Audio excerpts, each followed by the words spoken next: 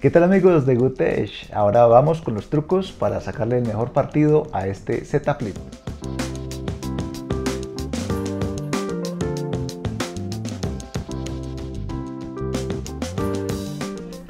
Una de las primeras cosas que llama la atención de este nuevo Z Flip eh, versión 3 es precisamente su gran pantalla frontal, que antes era realmente muy pequeña, Ahora vamos a ver cómo podemos configurarla.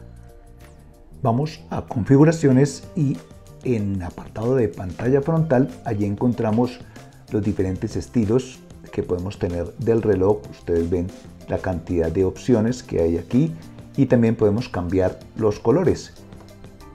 Igualmente si queremos agregar widgets podemos tener widgets de música, de tiempo, de planificación, eh, todo esto pues nos va a permitir tener unas notificaciones en la pantalla principal y también reordenarlas. Si queremos que aparezca algo primero, pues simplemente lo desplazamos. Vemos acá, podemos ponerlo de primer lugar o si queremos salud de Samsung, bueno, todo esto es totalmente personalizable. Otra forma de personalizar esta pantalla es simplemente haciendo, aquí la activamos con doble clic pero si mantenemos pulsado, podemos escoger diferentes opciones eh, o animaciones de acuerdo a lo que queramos. Esta es una forma también mucho más rápida y sencilla de personalizar y configurar esta pantalla frontal. Iremos a esta pantalla de configuración personalizada donde podemos escoger no solamente los colores sino también la imagen de fondo. Vamos a imagen de fondo, elegir de la galería, Vamos a escoger alguna de las que tenemos acá. Eh, listo. Aquí nos sale y simplemente aprobamos confirmar y ya tendremos esta imagen de fondo para nuestro reloj. Bien, aquí lo podemos ver cómo es el resultado. Si hacemos un toque hacia abajo podemos ajustar tanto el volumen como el brillo de la pantalla, de esta pantalla frontal. Podemos tener silenciado también eh, apagado el volumen o subir el volumen.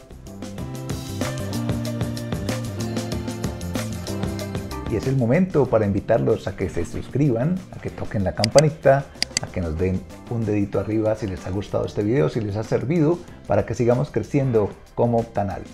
Haciendo un doble clic aquí en el botón Power se activa la cámara y esta cámara también podemos cambiar a video, podemos cambiar a foto podemos cambiar aquí a un lente gran angular o al lente normal dependiendo de lo que ustedes deseen. Eh, y también podemos activarlo con la palma de la mano. Para tomar la foto simplemente pulsamos el botón de volumen.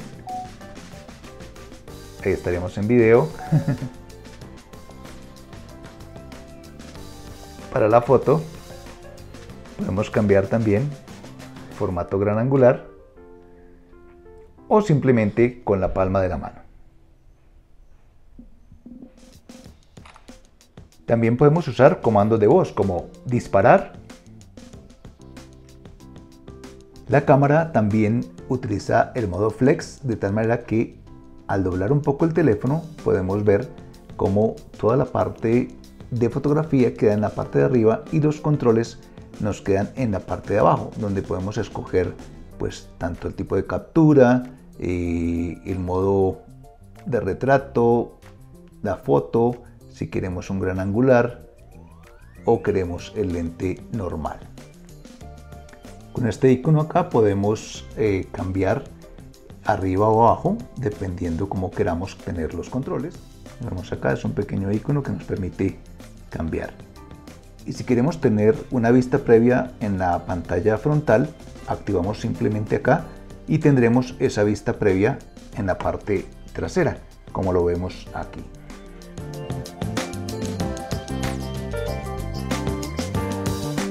Pero hay muchas cosas que se pueden hacer también con el modo Flex, así que les recomiendo que vayan a funciones avanzadas y aquí dentro de laboratorios o labs van a encontrar muchas formas del modo Flex. Otras aplicaciones, tanto Bixby, calculadora, cámara, eh, el Chrome, el Google Drive, eh, fotos, Facebook, bueno, y allí van a ver las diferentes opciones que ustedes pueden eh, optimizar para utilizar este modo flex.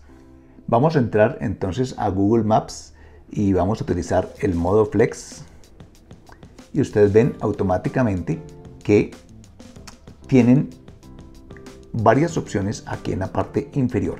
Por un lado tendrían pues estas informaciones, pueden acceder a una captura de pantalla,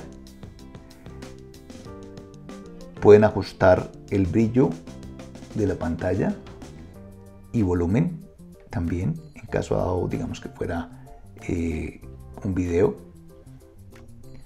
bueno, vamos a ver eh, unos trucos. Bueno, ustedes dirán, ¿cómo, cómo hizo esto? ¿Cómo está desplazando esto? Eh, simplemente voy a enseñarles cómo desplazar con el lector de huella.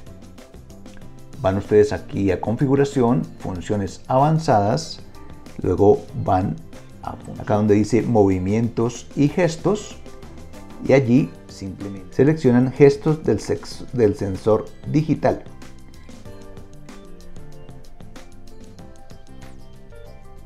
Ya con esto ustedes cuando desplacen tendrán las notificaciones, podrán ir a las diferentes paneles mucho más rápido. Y un truquito para apagar la pantalla, simplemente pulsen dos veces sobre un espacio vacío, vuelvan a hacer también doble clic y aquí encenderían o prenderían su pantalla. Y si quiere utilizar la multitarea como un profesional, simplemente abra esta barra lateral, desplace cualquier aplicación vuelva a abrirla, ahí tendría ya dividida la pantalla automáticamente y puede ajustar acá tanto la altura o las puede cambiar. Y una cosa muy interesante este icono es que puede memorizar esta distribución de pantalla de tal manera que cada vez que usted quiera, pues yo ya tenía otras programadas, Usted puede tener aquí esta otra donde tenía YouTube y em, Maps, pero también puede tener Mail y Maps automáticamente. Bueno, y no solamente tiene una arriba abajo, sino también por el modo Flex puede rotar y tener pues de manera cuaderno, digámoslo así, puede doblar un poquito y tener las dos aplicaciones Bueno, y un tip muy útil cuando ustedes quieren cargar cualquier otro dispositivo, eh, simplemente bajan acá, acá tienen su compartir la carga y ahí nos muestra una animación como cerrando el teléfono y en la parte de atrás pues podrían colocar sus audífonos, su reloj o cualquier otro dispositivo de carga inalámbrica para transferirle carga desde este Z Flip 3.